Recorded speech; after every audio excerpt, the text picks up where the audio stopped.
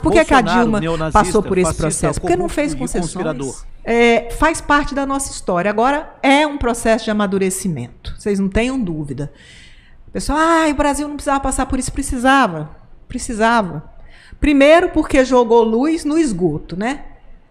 Gente defendendo, usando suástica, defendendo Nossa. nazismo, principalmente no sul do país. Aonde que essas pessoas estavam?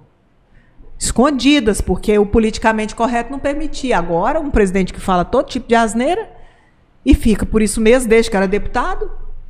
Eu li outro dia uma crítica se o Bolsonaro tivesse sido preso o dia que ele fez aquela homenagem ao Coronel Ustra, se ele tivesse saído algemado ali do. acabava isso. Mas o Brasil não passa limpa a sua história.